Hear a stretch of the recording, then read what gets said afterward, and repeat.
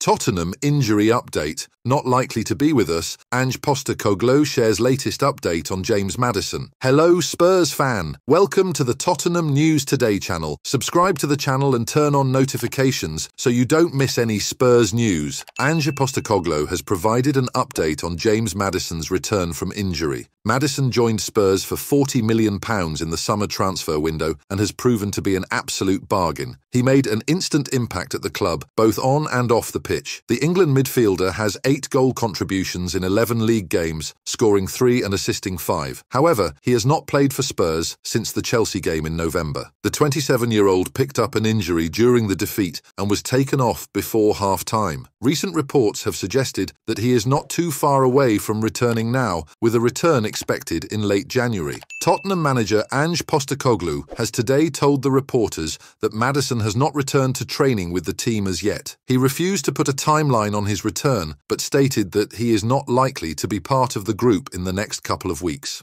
Speaking ahead of the game against Burnley, Ange said, Maddison not training with us yet, mate, and I've said before until they're training with us, it is hard for me to put a timeline on it. He's running with the sports science crew, but not with us, and not likely to be with us in the next couple of weeks, I don't think. This means he is definitely not be back for the game against Manchester United, but could be back for the Brentford game on 1st February.